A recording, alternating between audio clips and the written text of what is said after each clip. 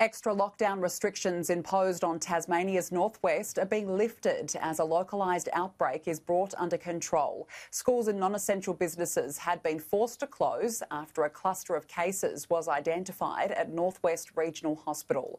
127 people became infected and 11 died as a result. No new cases have been identified in Tasmania over the past 24 hours. Premier Peter Gutwein says some lockdown measures can now be relaxed.